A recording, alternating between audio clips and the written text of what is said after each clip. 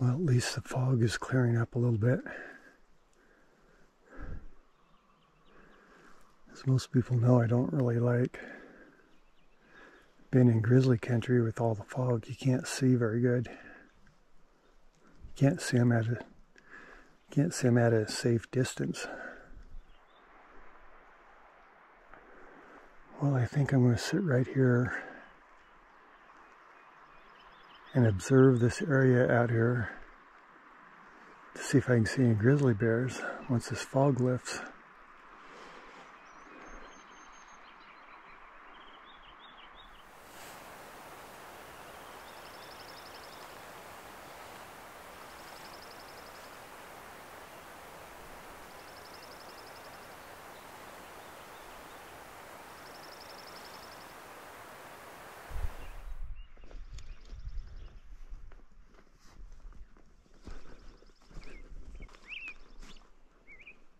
Don't want to sit there too long without checking behind me.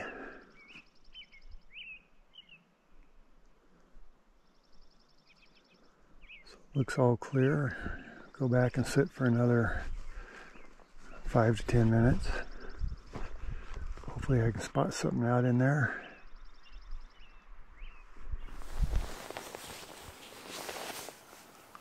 Spotted a moose out there so far.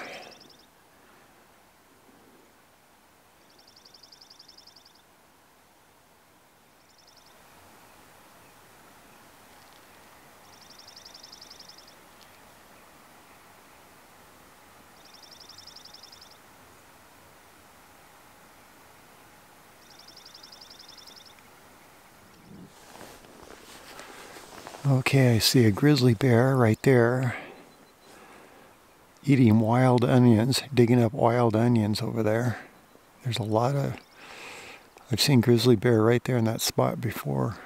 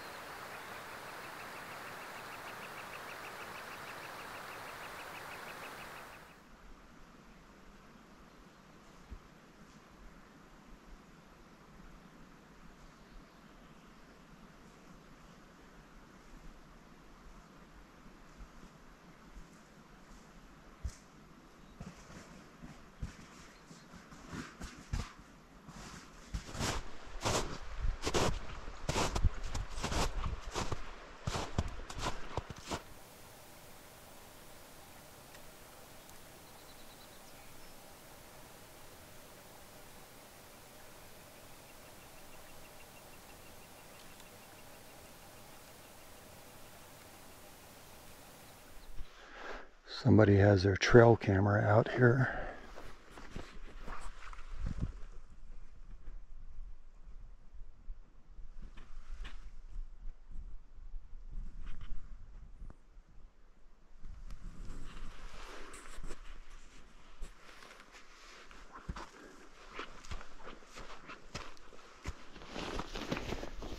Nice tracks here.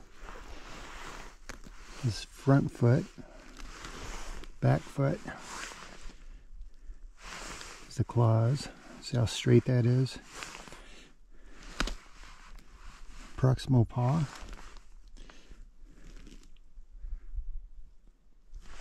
Interdigital pad.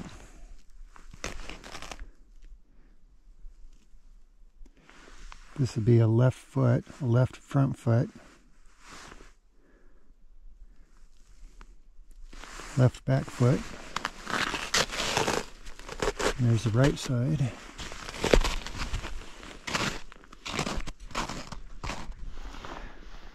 This is something I always like to show people that are tracking. See, this is a, looks like a pretty big grizzly bear. That's probably about a six inch wide track. But what you have to be careful for is one track on top of the other. This one has one, two, three, four, five, six toes. So that makes the track much bigger than what it really is.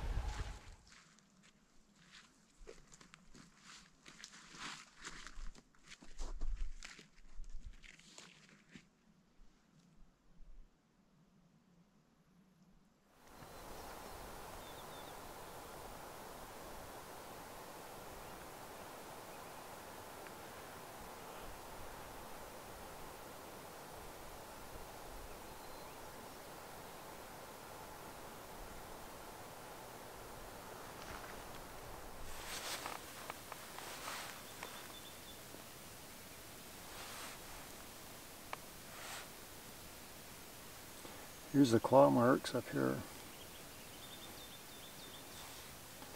It's a grizzly track.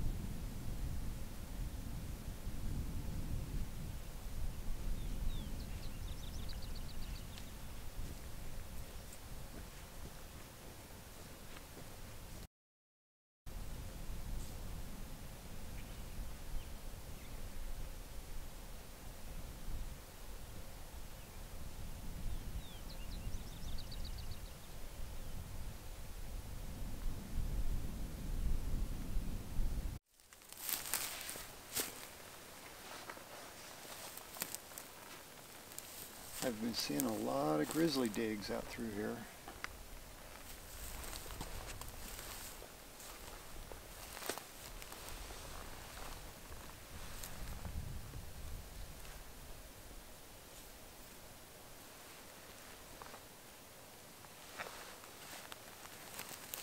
Grizzly tracks. More tracks down here. Grizzly track right here. So right down here, right down there is where the grizzly bear was earlier.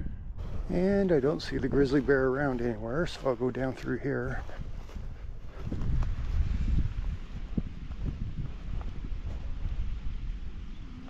So there's a, grizz a dry grizzly track there. But you can see those little holes everywhere he's digging up. He's digging up wild onions. The whole side of this mountain is just all plowed up. Sitting here digging up those wild onions.